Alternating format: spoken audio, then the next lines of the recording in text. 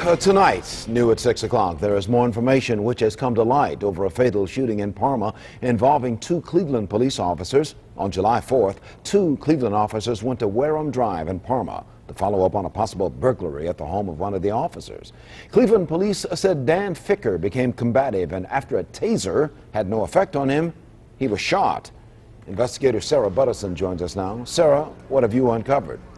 Leon, I found information about Daniel Ficker's background. Police records show that he threatened to kill people in a bar in 2005, and after he was arrested, he refused to cooperate with police.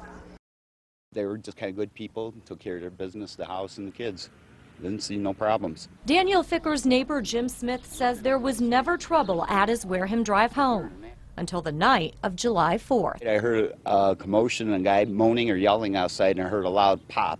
Police say Ficker was shot to death by a Cleveland police officer who was questioning him about a possible burglary. Cleveland police have said Ficker started fighting with the officer. It was a good commotion going on. It sounded like somebody was fighting or something. We found Ficker has had trouble with police in the past. In 2005, he was convicted of carrying a concealed weapon over an incident at a bar in the Biddulph Plaza in Brooklyn.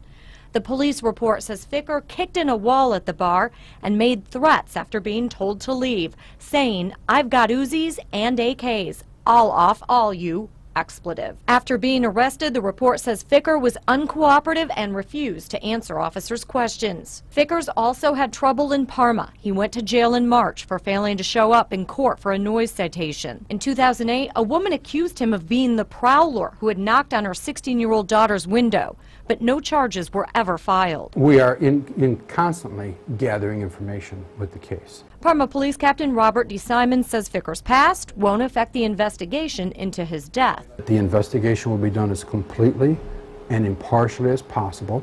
Ficker's family has said Ficker would not have argued with the officer and have pressed Parma officials for action. He's just the, the son that you want to have. He's just a great son. Smith also wants to know why his neighbor ended up dead by a police officer's hand. I'd like to find out what the whole story is, what was going on. No one will be getting any answers about what happened the night Daniel Ficker died for a while. The autopsy report is not finished, and DeSimon says there are still people he wants to talk to. On your side, I'm investigator Sarah Buduson, News Channel 5.